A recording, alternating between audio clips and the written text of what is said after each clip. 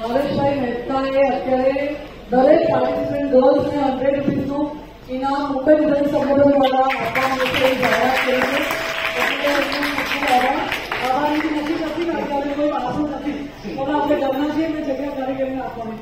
thank you girls thank you very much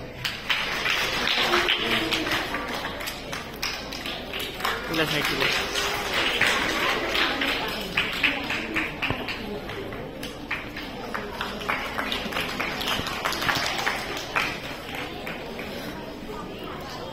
Thank